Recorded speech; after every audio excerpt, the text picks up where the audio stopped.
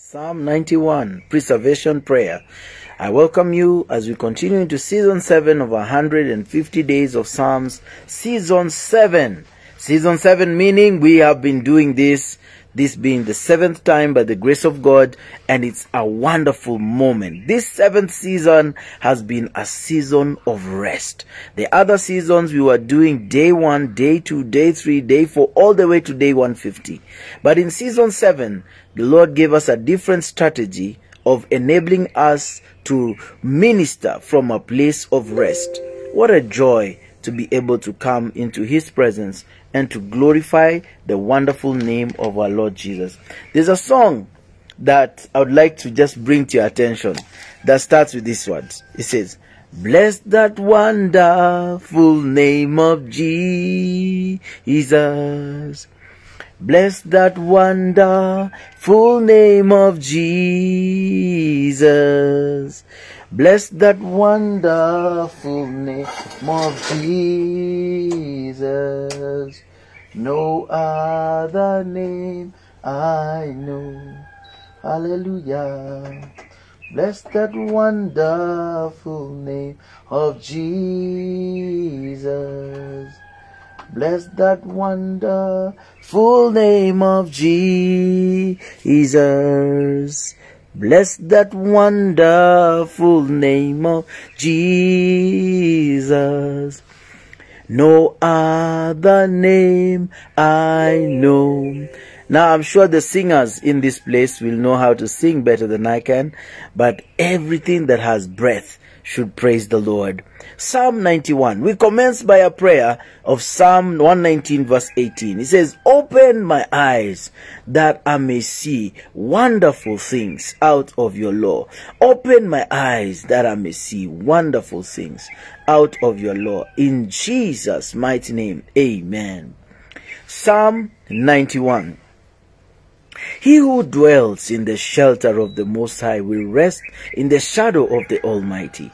I will say of the Lord, He is my refuge and my fortress, my God in whom I trust. Surely He will save you from the fowler's snare and from the deadly pestilence. He will cover you with His feathers, and under His wings you will find refuge. His faithfulness will be your shield and rampart. You will not fear the terror of night, nor the arrow that flies by day, or the pestilence that stalks in the darkness, nor the plague that wastes at noonday. A thousand may fall at your side, ten thousand at your right hand, but it will not come near you. You will only observe with your eyes and see the punishment of the wicked. If you make the Most High your dwelling, even the Lord who is my refuge, then no harm shall befall you, no disaster will come near your tent, for he will command his angels concerning you to guard you in all your ways. They will lift you up in their hands so that you will not strike your foot against a stone. You will tread upon the lion and the cobra. You will trample the great lion and the serpent. Because he loves me, says the Lord, I will rescue him. I will protect him, for he acknowledges my name. He will call upon me, and I will answer him. I will be with him in trouble. I will deliver him and honor him. With long life will I satisfy him and show him my salvation. Beloved, this is the preservation prayer in Psalm 91. This scripture is starts by saying that he who dwelleth in the secret place of the Most High will rest in the shadow of the Almighty. That the place of dwelling is the place is the wonderful place of being in the secret place. Being in the secret place, being in the place of hiding, the place where we are hidden, the place where we are having communion with God on a very personal level. That it's in these moments that when we are trusting God for His faithfulness and for His mercy, that we are able to experience the supernatural we are able to experience the blessings, the favor, the joy, the increase. It says in verse 11, which, if you can remember very well, Psalm 91 11 is a scripture that even the devil knows too well. He knows it too well. He says that he will command his angels concerning you. He was, when Jesus was being tempted, by of the devil after he had taken up he had he was taken he was up in the in the in the in the in the place of testing in the wilderness in Matthew chapter 4 verse 6 you know the enemy came to him and he says if you are the son of God he said throw yourself down for it is written Satan quotes the scripture don't forget this he can appear as an angel of light he showed up and he said he will command his angels concerning you and he will lift you up in their hands so that you will not strike your foot against the stone. This is the tempter quoting scripture to the Lord Jesus Christ. And the Lord Jesus Christ did not say, okay, let's make this happen. No, no, no, no. The Lord Jesus Christ was covered in a garment of humility. He was covered in a garment of, you know, he could not allow himself to test the Lord his God. Inasmuch as he was very nature God, he did not want to impress mankind with supernatural activities. But on the last day, when he came upon the earth, after 40 days, he did something supernatural with his body. He was lifted, taken up in front of them without a crane, without anything lifting him. Jesus ascended, literally, in his physical body. He ascended up into the heavens. And the angels said to the people, this same Jesus that you've seen taken up is the one that you dealt with every single day. Jesus, when on earth, had the capacity to operate in the supernatural. He had the capacity to pass through the wall, but he did not. He had the capacity to appear everywhere he wants, but he did not. It was until the resurrection that when the disciples were in a room praying, he appeared in their midst. After the assignment was complete, in the very body of Christ, he appeared again to the disciples and to Thomas called Didymus, the one who doubt, the one who doubted, who later we are told he went into India. He went and touched the very spots where the Lord Jesus Christ had been nailed to the cross. He said that if you are the son of God, let me touch, let me touch the side. This kind of faith is the one we call the Thomas faith. There is also another type of faith that we see in the book of Genesis, the faith of Abraham. There are two types of faith. You need to check on yourself as we come into this preservation prayer. We need to check on ourselves. What kind of faith do you exercise? Do you exercise the faith of Thomas who doubted until he saw or do you exercise the faith of Abraham who believed God that he was going to a city whose builder was the Lord? He did not know anything about where he was going, but Abraham believed God and it was considered as righteousness for him. Beloved of God, it's a joy and great delight to see what God is able to do when the children of God call upon his name. Thomas, also called Didymus, displays a type of faith that even when we have such a powerful prayer as Psalm 91, there are moments when we want to see, we want to touch, we want to believe. Jesus, are you there? Are you there? Are you helping me? Are you healing me? We ought to come to the place like Abraham, or how the Jewish call it Avraham. That we come to the, the faith of Abraham, that we need to come to that faith of believing without seeing.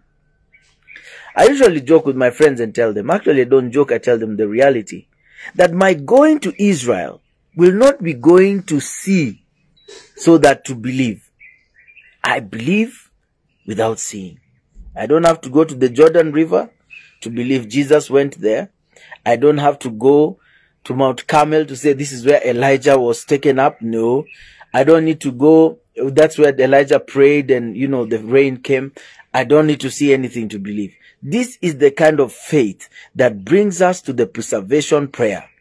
The preservation prayer of Psalm 91 operates in the place of secrecy. The book of John, chapter number 7. I don't know uh, the verse. like I always tell you, it's good to know the book and then to get the verse as you study. But I know, I believe it's the first four, five, six, seven verses there. The Lord Jesus Christ, it was about the the time of the Feast of Tabernacles for the Jews. Just like now, we have just uh, come to, you know, as I record this today is the 25th of September at 6 p.m. today, sunset is going to be the end of the most sacred and the most holy time of the Jewish people called as Yom Kippur.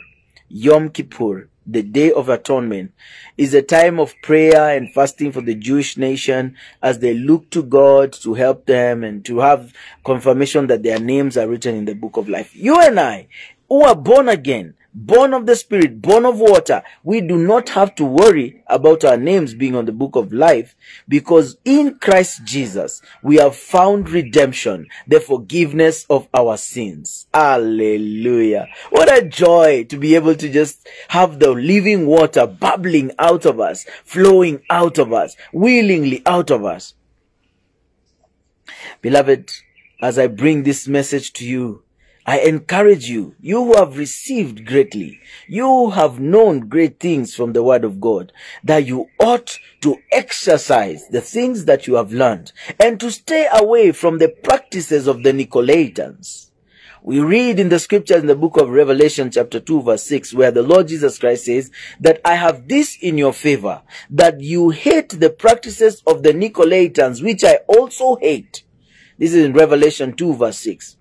We notice that our Lord Jesus Christ described the Nicolaitans. Who are the Nicolaitans? We read in the book of Acts that when they were talking about the different deacons that came up, one of them was Nicholas. Nicholas. And this man continued he was an he was a he was a deacon that had gone out of the way he is the father of the clerical order archbishop bishop what what what those names nicolaitans when you look at the pattern of the apostles the way we have these days, you know, a podium and then people sitting the other side, that was not the intention of God.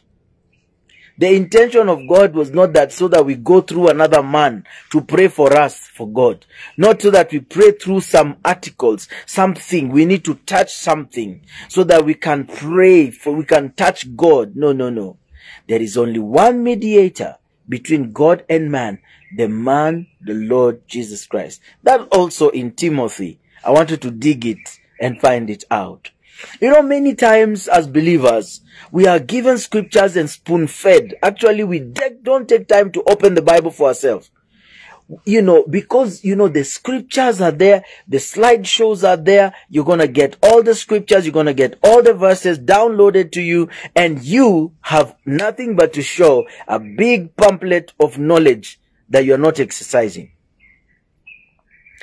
One joy that I see God has given the people of God that have not received so much knowledge, yet they have grown so much in faith. E, for example, the people in the uh, tropical forests, there are no books in some of those places. But there is a sense of fear of God in those people that they will even rescue. They will rescue somebody they don't know rather than kill him. Why? Because in them there is a fear of God that tells them you shall not kill. You see these things. The preservation prayer of Psalm 91 brings us to a closer communion with God. He who dwells is a place that you need to come to regularly. Is a place that you need to know that he who dwells in the shelter of the Most High will rest in the shadow of the Almighty. Is a beautiful knowledge. Is an area of preservation. Is an area of knowledge, is an area of trusting God, is an area of waiting upon the Lord and waiting upon His mercy and His grace. John chapter 7. The Lord went into the, into the, into the feasts in secret. John chapter 7. It says that the Lord went into the feast in secret. The reason why he went into the feast in secret is because his time had not yet come. John chapter 7. Look at it. Beautiful book. Hallelujah. Wonderful chapter that it gives us knowledge, ability, capacity to be able to know that if the King of Kings and Lord of Lords was operating from a secret place, who are we? That at times you just want everything publicized, everything public, everything. There are times when you must do something in the secret place. There are times you're going to take a fast that is not going to be public. Nobody's going to know you're fasting. Indeed, in the book of Matthew chapter 6, it gives us the capacity of how to do that kind of a fasting. It says that even put some ointment on your face, clean up a bit, let people know that you are doing well, and yet you are in the place of fasting. They should not know you're fasting. In fact, this does not call for, you know, being completely fanatical in how you're doing things that is a sin to tell somebody you're fasting. No. Choose your fast well so that you don't have to explain yourself. There are some fasts that you do that you don't need anybody to know you are fasting. So avoid visiting people during that time. Avoid being in restaurants at that time.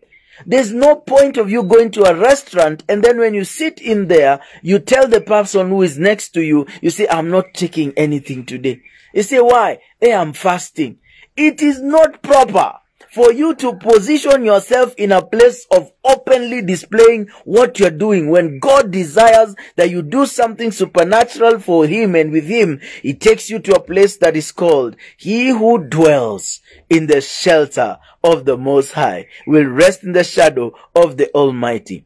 The people will come to learn of it later that you are fasting. The people will come to see the results and they cannot argue with them because results do not need to be argued. Just the same way the sun rises on the east and it goes all the way to the west. It's a joy and privilege to dwell in the presence of God. It says, he who dwells in the shelter of the Most High will rest in the shadow of the Almighty.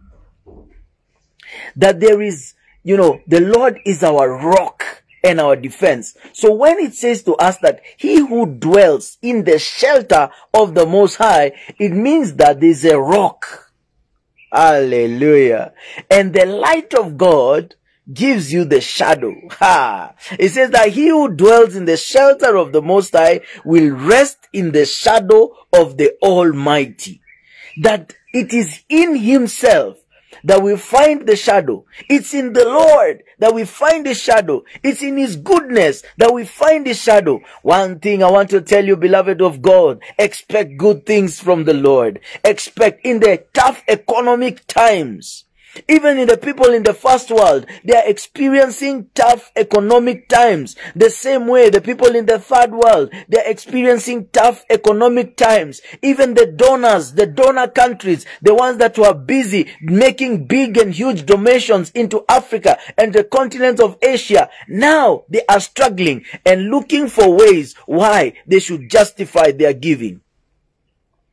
But he who dwells in the shelter of the Most High will rest in the shadow of the Almighty. He'll remain well provided for. He'll remain covered and healed. The word of God says, I will say of the Lord. This kind of a location requires you to have an Abraham kind of a faith. A faith that believes without seeing. When God spoke to Abraham, an a 75 year old man that time, he said, I will bless you with a son. It took 25, 24 years, 99 is when this man got a baby. Can you imagine that? Abraham believed God and it was considered to him as righteousness. Abraham, that kind of faith is still being required of us today. That we need to believe God. Even though we don't see anything, we need to believe. Even if we don't feel anything, we need to believe that the preservation God, the God that preserves, will preserve our souls. It says that he who dwells in the shelter of the Most High will rest in the shadow of the Almighty. This is the truth of the thing the truth of the matter, we need to know that the altar of the lion and the lamb is established. Hallelujah. Glory be to Jesus. That we begin to see the beauty of holiness beginning to flow out of our souls, begin to flow out of our belly shall flow rivers of living water. As the singer sang, out of my belly shall flow rivers of living water. Rivers. Rivers. So a river requires streams. And rivers that make it to the lakes, later the lakes make it to the seas. The transformation and the flow of the wonders of God will never cease. As we have received much, much we must give. So simplify the message. As your Lord enables you, simplify the message. Simplify the message so that as many will come to the saving grace of our Lord Jesus Christ. Simplify the message. Simplify the message. Nothing is too hard. Let me tell you one thing as I come to an end. There is this notion that when we have money, we will command influence. The question I have is this. If money was enough, then why did Jesus have to die? There was still money on the earth. There was still gold on the earth. There was still silver on the earth. So church of Jesus Christ, wake up we will receive resources from the Lord. And as we get resources, we will not turn our face to the resources because the resources also are a master. That's why the Lord Jesus Christ spoke to us and he said to us about this matter. He said that you cannot serve God and you cannot serve money. In the book of, is it Matthew chapter 6 again? Yes, thereabout. It says that you cannot serve God and you cannot serve money. He calls money a master. It means that money has a, has a voice. The same way the Lord Jesus Christ is a, is a, is a voice as our master. Money has a voice. When it gets to your hands, what will it start saying to you? Mammon, the worship of Mammon will keep us away from the secret place. The moment we all start concentrating on Mammon, we start concentrating on Mammon. The moment you are watching on the money God, then we lose the focus of the Savior. I come to tell you, if at all our denominations could have saved us, the Pharisees and the Sadducees would have done a good job. They would have covered the whole earth. Probably there would have been a third one for the Greeks and the Gentiles, who you and I have now come to. But it's because of the saving grace of Jesus Christ that we can dwell in this preservation. There is no other preservation that is there than the preservation of our Lord Jesus Christ. Silver and gold cannot be able to preserve us.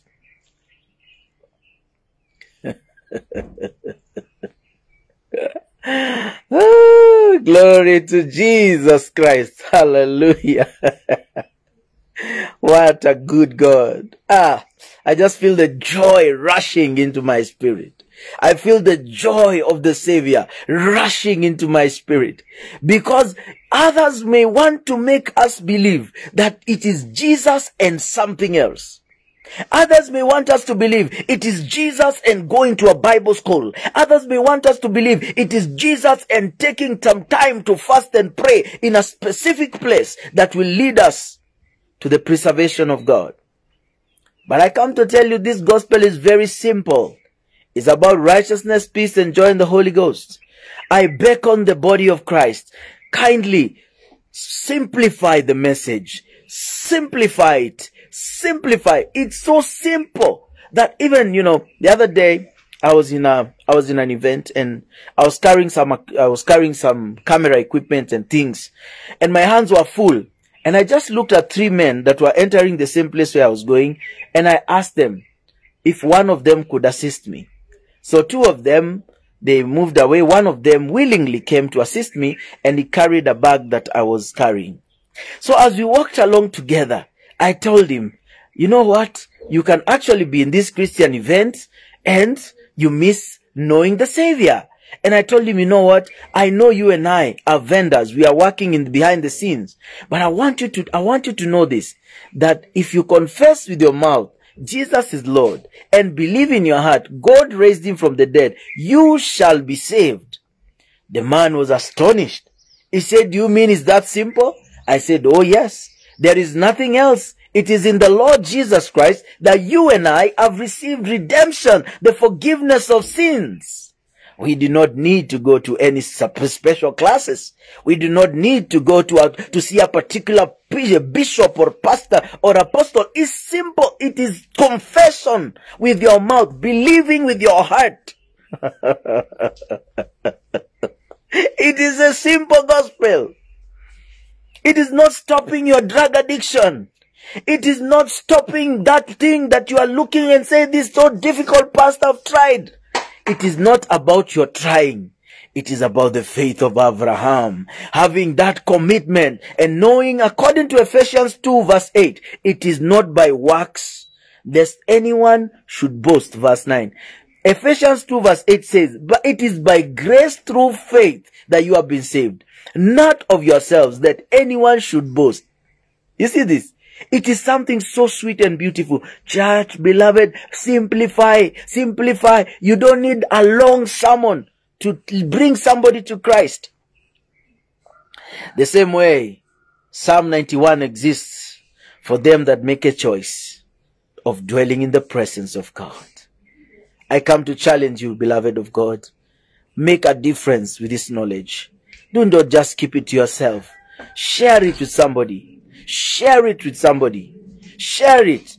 A word of God tells us clearly that we seek the kingdom of God and all these things shall be added unto us as we work with our hands. Psalm 90, 17 says, May the Lord our God favor you, bless us and favor us, establish the work of our hands for us. Yes, establish the work of our hands.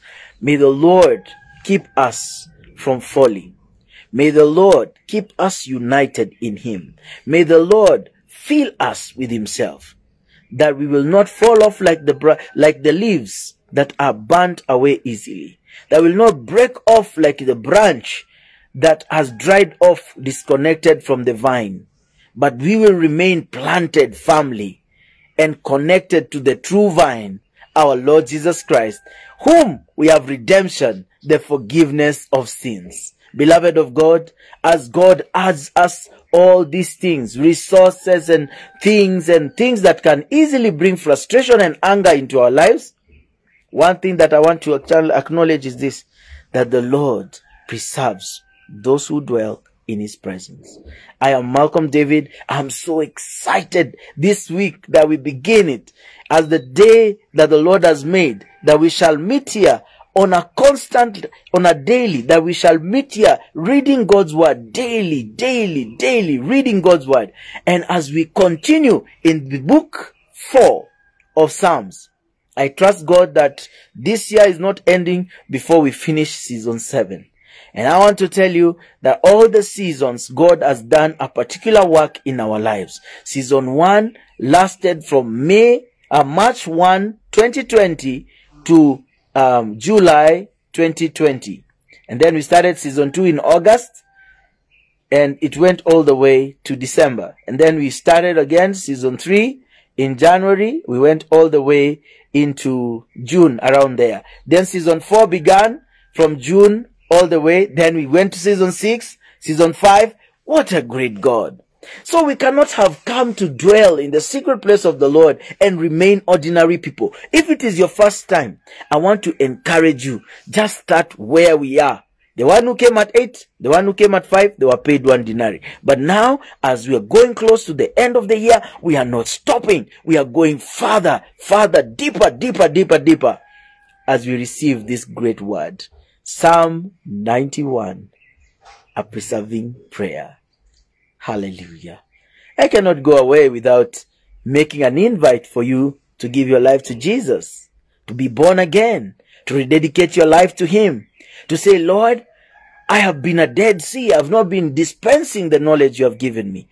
But today I purpose, I choose to give my heart to you, my life to you. Hallelujah. The key verses to share with your friends and everybody else, Ephesians 2, 8 9 and 10 and the book of Romans chapter 10 verse 9 and there are so many other ways that we can be able to explain. 1 John chapter 1 verse 9 and 10 is also another one you can be able to see. I am Malcolm David. Let's pray this together. Say Lord Jesus I confess with my mouth that you are Lord. I believe in my heart God raised you from the dead write my name in the Lamb's book of life I am born again. The old is gone, the new has come. Fill me with your Holy Spirit and with your fire. In Jesus' name, amen. Beloved, this prayer you have made, you have crossed over from death to life. I also invite you into the place of partnering with this work and also giving an offering. In this way, I allow us to share in the beautiful grace the Lord gives us. And also it's a complete service. So the giving details are in the, in the, in the comments in the, what you call it, in the description of this video. You can WhatsApp your prayer need or you'd like to share something on plus 254 722 087 087. Yes, do not feel guilty when you are paying your, your, your tithe or when you are sharing your, your offering in those numbers because purely we are going to ensure that we keep it into the works of the Lord as He enables us. It's Mission Monday and we trust God for His direction and His leading. It's a joy. It's a privilege. 5 a.m. We are meeting every day. 5 a.m. This whole time. 91 tunasonga mpaka tumalize book 4. So we thank God. Be here tomorrow. Time now is set. 5 a.m. Between 5 and 5.30, the live video will come up in the morning. And the prayer is still continuing between 3 and 4.40. So if you have time, you can send me a message. You'll get the link. Also, you can scroll through the page of Malcolm David and you can find the active link that is there. I am Malcolm David. Shalom. May the Lord bless your giving. May the Lord bless your shining. May the Lord bless your becoming and may you be preserved of the Lord as you dwell in his shelter. Shalom. Shalom. Shalom. And to our Jewish brothers, we give glory to God and we pray that you will discover that Jesus, the Messiah, has already come in the flesh. We glorify the Lord. Shalom. Kwaheri.